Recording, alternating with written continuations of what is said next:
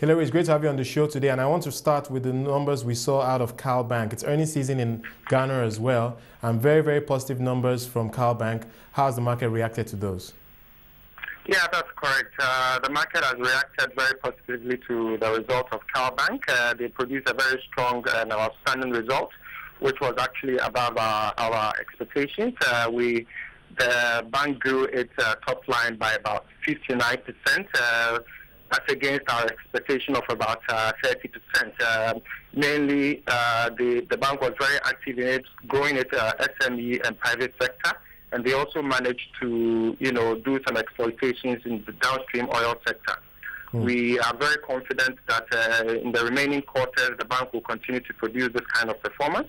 Uh, bottom line, they grew it about 245 to about 19 million Ghana cedis. Right. And uh, within within a space of about uh, less than two weeks, uh, the bank uh, made a, a, a, capital gain of about 19%. Uh, okay, but it seems the share price hasn't reacted aggressively after th those numbers were released. But you've seen a lot of we've seen a lot of volumes going through the market uh, after the the, the the, the result. Uh, last last month, I mean, it was an expectation. So last month, uh, like it was the most actively traded stock, accounting for about 26% uh, of total value traded. Hmm. All right, let's move on though to AluWorks, and I hear I'm hearing they are proposing a rights issue. Um, some um, suggestions that it may not be successful, even though the management is quite optimistic that they will raise 10, at least 10 million um, Ghanaian cedis.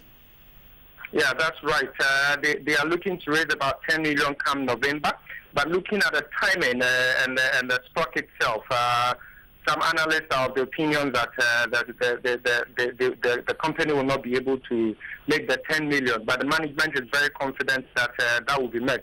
Uh, but most of us are doubtful. Looking at the timing, next, uh, I mean, the, the, the next month will be an election month, and uh, we think uh, there's going to be a slowdown in trading activity around that time. All right, very quickly, if you can just wrap this up for us. Your outlook for the market um, over the next few weeks. We've seen the market recover a little bit over the last few weeks. Do you think this momentum could be sustained?